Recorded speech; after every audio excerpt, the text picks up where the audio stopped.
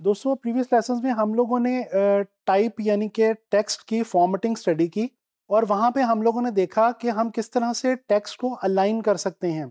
वहाँ पे मैंने आपको ये भी बताया था कि अलाइनमेंट बेसिकली होती क्या है। दोस्तों टेक्स्ट को जिस तरह से हम अलाइन कर सकते हैं, इसी तरह से हम इलस्ट्रेटर के अंदर ऑब्जेक्ट्स को भी अलाइन कर सकते हैं। मैं यहाँ पे आपको थोड़ा सा अलाइनमेंट का कॉन्सेप्ट जो है वो दोबारा बताना चाहता हूँ। दोस्तों अलाइनमेंट का मतलब है किसी भी चीज़ की प्लेसमेंट फिर चाहे वो टेक्स्ट हो, या ऑब्जेक्ट्स हों, या कोई रजिस्ट्रेशन के डिफरेंट पोर्शंस या पार्ट्स हों, आप जब भी अलाइन करना चाहते हैं किसी भी चीज़ को तो बेसिकली आप दो या दो से ज़्यादा चीज़ों को आपस में एक दूसरे के साथ प्लेस कर रहे होते हैं और किसी ख़ास तरीके से या किसी ख़ास फॉर्मेट में प्लेस कर रहे होते हैं। इस लेसन में हम लोग देखने लगे हैं डोबी इलस्ट्रेटर में हम लोग ऑब्जेक्ट्स को किस तरह से अलाइन करते हैं आपस में? इसके अलावा थोड़ा सा मैं आपको बताऊँगा डिस्ट्रीब्यूशन के हवाले से। डिस्ट्रीब्यूशन का मतलब है जो ऑब्जेक्ट्स हैं, उनकी आपस की स्पेसिंग हम किस तरह से मैनेज करते हैं। तो चलें जी, चलते हैं इलस्ट्रेटर की तरफ़ और देखते हैं अलाइनमेंट ऑफ़ ऑब्जेक्ट्स। अलाइनमेंट समझाने के लिए सबसे पहले मैं आपको ये बताता चलूँ कि यहाँ पे विंडो के पैनल में जब आप जाएँगे तो आपके पास यहाँ पे अलाइन की ऑप्शन ऊपर ही मौजूद है। इसकी शॉर्ट की जो है, ये आप देख सकते हैं, सामने लिखी हुई है शिफ्ट प्लस एफ़ सेवन आप शिफ्ट एफ़ सेवन क्लिक करेंगे तो ये पूरा पैनल जो है अलाइनमेंट का, ये आपके सामने ओपन हो जाएगा। जैसा कि आप देख सकते हैं, मैंने बाकी एक्स्ट्रा पैनल्स यहाँ पे इस वक्त क्लोज रखे हुए हैं और सिर्फ़ अलाइनमेंट का जो पैनल है, ये मैंने यहाँ पे आपके लिए ओपन किया है। अच्छा जी, अब अलाइनमेंट के लिए हम सबसे पहले क्या करते हैं कि हम एक यहाँ पे बॉक्स क्रिएट कर लेते हैं। ये देखें, ये मैंने एक स्क्वायर जो है, ये यहाँ पे अपने आर्ट बोर्ड पे क्रिएट किया इससे पहले कि ये जो अलाइनमेंट की ऑप्शंस हैं, ऊपर आपको नज़र आ रही हैं, इनको समझाने से पहले मैं आपको ये बताना चाहता हूँ कि बेसिकली हमारे पास ऑब्जेक्ट्स की अलाइनमेंट तीन किस्म की होती है इलस्ट्रेटर में। आप दोस्तों किसी भी ऑब्जेक्ट को अपने आर्ट बोर्ड के अकॉर्डिंगली अलाइन कर सकते हैं। किसी ख़ास दूसरे ऑब्जेक्ट के अकॉर्डिंगली अलाइन कर सकते हैं। या फिर कोई एक सिलेक्शन लेके मल्टीपल ऑब्जेक्ट्स की, उसके अकॉर्डिंगली भी आप अपने किसी भी ऑब्जेक्ट को अलाइन कर सकते हैं। तो चलें, इन चीज़ों को, ज़रा इन तीनों ऑप्शंस को जो है वो स्टडी करते हैं। अच्छा सबसे पहले यहाँ पे ये देखें बॉटम के अंदर इस जगह पे आपको ये एक डॉक नज़र आ रही है अब जैसे इस पर क्लिक करते हैं, यहाँ पे लिखा आ रहा है जी align to art board align to selection align to key object हम सबसे पहले देखेंगे अलाइन टू आर्ट बोर्ड को। अच्छा अब ये मैंने एक यहाँ पे स्क्वायर लिया हुआ है और मेरा आर्ट बोर्ड जो है वो बाकी तमाम खाली है। अब मैं यहाँ से अलाइनमेंट की जिस ऑप्शन को क्लिक करता जाऊँगा उस ऑप्शन के अकॉर्डिंगली मेरा ये जो स्क्वायर है, ये इस पूरे मेरे आर्ट बोर्ड के साथ साथ अलाइन होता जाएगा। चलें देखते हैं स्टार्ट करते हैं कि कौन कौन सी ऑप्शन हमारे पास यहाँ पे अवेलेबल हैं। अच्छा ये सबसे पहले यहाँ पे ये देखें हमारे पास ऑप्शन है जी हॉरिजॉन्टल अलाइन लेफ़्ट की। यानी हॉरिजॉन्टली हमारे पास ये लेफ़्ट अलाइन ऑब्जेक्ट आ रहा है इस आर्ट बोर्ड के हवाले से। अच्छा इसी तरह फिर हमारे पास ऑप्शन है जी हॉरिजॉन्टल अलाइन राइट की। जब हम इस पर क्लिक करते हैं तो ये हम देखते हैं हमारा जो स्क्वायर है ये हमारे आर्ट बोर्ड के लिहाज से राइट साइड पे हॉरिजॉन्टली अलाइन हो गया इसी तरह से हमारे पास यहाँ पे वर्टिकल की ऑप्शंस मौजूद हैं। वर्टिकल अलाइन टॉप, ये बिल्कुल टॉप के ऊपर अलाइन हो जाएगा। वर्टिकल अलाइन बॉटम बॉटम पे अलाइन हो जाएगा।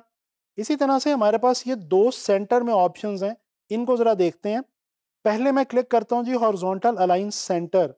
आप देख सकते हैं कि मेरा जो ऑब्जेक्ट है, वो मेरे आर्ट बोर्ड के बिल्कुल सेंटर में आ गया हॉरिजॉन्टली। लेकिन वर्टिकली अभी वो उसके बॉटम में ही है।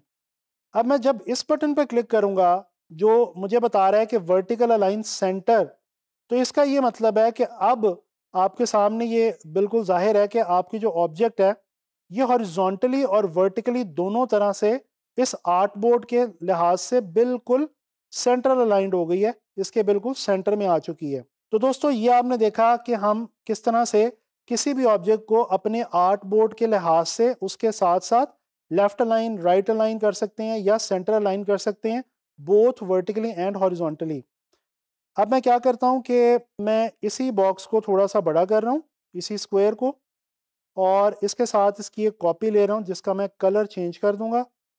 यहाँ से इसको मैं थोड़ा सा रेड ले रहा हूँ, और इसका साइज़ मैं थोड़ा सा छोटा कर रहा हूँ।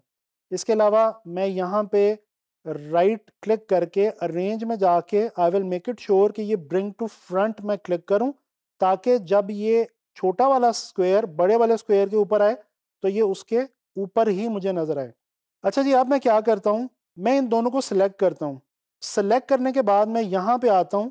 आप देखिए, ये जो ऑप्शन पहले आपको ऑन नज़र नहीं आ रही थी, अब यहाँ पे ऑन हो गई है एप्लीकेबल हो गई है अलाइन टू की ऑब्जेक्ट जैसे ही मैं अलाइन टू की ऑब्जेक्ट के ऊपर क्लिक करता हूँ तो आप देख सकते हैं कि ये एक जो ऑब्जेक्ट है, मेरा छोटे वाला जो स्क्वायर है, ये सिलेक्ट हो गया है। मैंने इसको की ऑब्जेक्ट नहीं बनाना। बेसिकली ये जो ब्लू लाइन आपको नज़र आ रही है बाउंड्री पे, ये जिस ऑब्जेक्ट पे आपको नज़र आएगी दैट मीन्स के वो की ऑब्जेक्ट है और दूसरा ऑब्जेक्ट या दूसरे ऑब्जेक्ट्स उसी की ऑब्जेक्ट के लिहाज से अलाइन होंगे। अब मैं ये कर रहा हूँ कि मैं की ऑब्जेक्ट बना रहा हूँ बड़े स्क्वायर को और वो किस तरह से करूँगा, सिर्फ़ उसके ऊपर जाके एक बार क्लिक कर दूँगा तो वो मेरा की ऑब्जेक्ट बन जाएगी। अब ये दोनों चीज़ें मैंने सेलेक्ट की हुई हैं, दोनों ऑब्जेक्ट्स और बड़े वाले स्केयर को मैंने अपना की ऑब्जेक्ट जो है वो कंसिडर कर लिया अब मैं आके यही वाली ऑप्शन जो हैं ये आपको क्लिक करके वन बाय वन दिखाता हूँ। हॉरिजॉन्टल अलाइन लेफ़्ट ये देखें, छोटा स्क्वायर बड़े स्क्वायर के साथ लेफ़्ट अलाइन हो गया हॉरिजॉन्टल अलाइन राइट ये उसके साथ राइट अलाइन हो गया इसी तरह से वर्टिकल अलाइन टॉप ये देखें, उसके टॉप पे जो है वो वर्टिकली अलाइन हो गया वर्टिकल अलाइन बॉटम ये देखें, उसके साथ वर्टिकली बॉटम पे अलाइन हो गया और इसी तरह से जैसे पहले हमने देखा था, अगर हम हॉरिजॉन्टल अलाइन सेंटर करें और वर्टिकल अलाइन सेंटर करें तो ये छोटा बॉक्स बड़े बॉक्स के बिल्कुल सेंटर में आके प्लेस हो गया अलाइन हो गया। तो ये हमने देखा दोस्तों कि हम दो ऑब्जेक्ट्स को या दो से ज़्यादा ऑब्जेक्ट्स को किसी एक को की ऑब्जेक्ट बना के उसके अकॉर्डिंगली किस तरह से अलाइन करते हैं।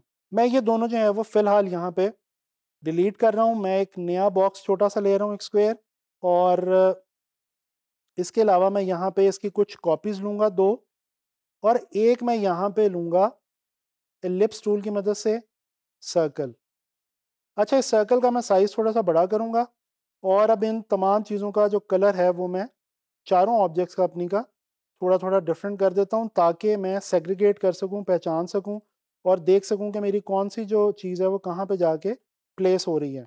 अच्छा जी, ये हमने चार जो है वो शेप्स ले ली। अब हम इनको ड्रैग करके सेलेक्ट करते हैं। ये देखें, ये चारों शेप्स हमारी सेलेक्ट हो गई हैं। यहाँ पे हमारे पास एक ऑप्शन है अलाइन टू सिलेक्शन की, जो कि हमारी तीसरी ऑप्शन है। इस पर जैसे ही हम क्लिक करते हैं तो अब ये देखें, अब जो मैं अलाइनमेंट करूँगा, वो इस सेलेक्टेड एरिया के अकॉर्डिंगली होगी।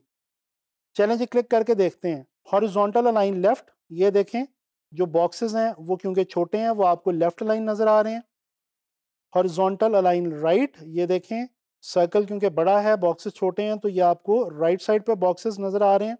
इसी तरह से वर्टिकल अलाइन टॉप अच्छा अब ये वर्टिकल अलाइन टॉप करने के लिए मुझे बेसिकली इनको प्लेस करना पड़ेगा इस तरह से हॉरिजॉन्टली अब मैं इनको दोबारा सेलेक्ट करता हूँ और मैं करता हूँ वर्टिकल अलाइन टॉप तो ये देखें टॉप के ऊपर चारों जो ऑब्जेक्ट्स हैं ये अलाइन हो गए हैं। इसी तरह से जब मैं बॉटम में इनको अलाइन करता हूँ वर्टिकली तो ये चारों बॉटम में अलाइन हो जाते हैं। और अब मैं क्या करूँगा, मैं इन तीन स्क्वेयर्स को सिलेक्ट करके, बल्कि मैं इसको सर्कल को सिलेक्ट करता हूँ अरेंज में जाता हूँ और मैं इसको कर देता हूँ, जी सेंड टू बैक यानी इसको मैं सबसे पीछे छोड़ देता हूँ, ताकि बाकी जो मेरे स्क्वेयर्स हैं, वो मुझे इसके ऊपर नज़र आ सकें।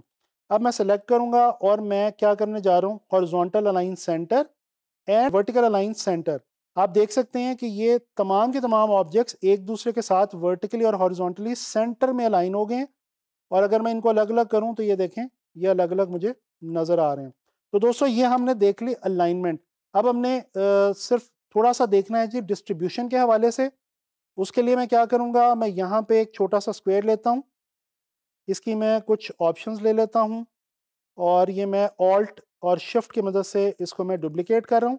अब मैं करूँगा क्या कि मैं ये जो इन बॉक्सेस के बीच में जो डिस्टेंस है स्पेसिंग है इसको मैं थोड़ा सा अनइवन छोड़ रहा हूँ जान के इंटेंशनली आपको समझाने के लिए, ताकि मैं आपको बता सकूँ कि डिस्ट्रीब्यूशन क्या है। दोस्तों, जिस तरह अलाइनमेंट प्लेसिंग है, इस तरह डिस्ट्रीब्यूशन स्पेसिंग है, यानी कि ये जो स्पेसेस हैं, ये हम किस तरह से इवन बना सकते हैं, वो हम करेंगे डिस्ट्रीब्यूट की मदद से।